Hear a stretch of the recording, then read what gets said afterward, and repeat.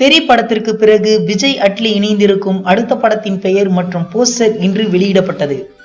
நாளை விஜயின் பிறந்தநாளை முன்னிட்டு இன்று மாலையே விஜய் அறுபத்தொன்னு படத்தின் போஸ்டர் மற்றும் பெயரை வெளியிட்டது படக்குழு. இந்த படத்திற்கு மெர்சல் என்று பெயர் வைத்துள்ளனர். படத்தின் மற்றொரு போஸ்டரை இரவு பனிரெண்டு மணிக்கு வெளியிட உள்ளனர். எப்போதும் விஜய் படங்களில் இளைய தளபதி விஜய் என்றுதான் போடப்பட்டிருக்கும்.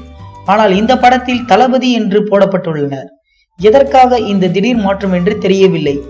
மேலும் படத்தின் போஸ்டரில் விஜய்க்கு பின்னால் ஜல்லிக்கட்டு காலையில் நிற்பது போன்றும் படத்தின் பெயர் காலையில் உருவத்தில் இருப்பதாகவும் வடிவமைக்கப்பட்டுள்ளது. இதனால் இது விவசாயங்கள் மற்றும் ஜல்லிக்கட்டை மையமாக வைத்து எடுக்கப்படும் படமாகவும் இருக்கலாம் என்று தெரிகிறது. சமீபத்தில் விஜய் விவசாயிகளுக்கு ஆதரவு தெரிவித்து பேசினார் என்பது குறிப்பிடத்தக்கது. இந்த வீடியோ பிடிச்சிருந்தா லைக் பண்ணுங்க. மெர்சல் ஃபர்ஸ்ட் லுக் பத்த கருத்துக்களை கமெண்ட்ல போஸ்ட் பண்ணுங்க. மேலும் இது போன்ற பல சுவாரஸ்யமான தகவல்களை உடனுக்குடன் அறிந்து கொள்ள சினிமா நியூஸ் அப்டேட்ஸ் மறக்காம சப்ஸ்கிரைப் பண்ணுங்க.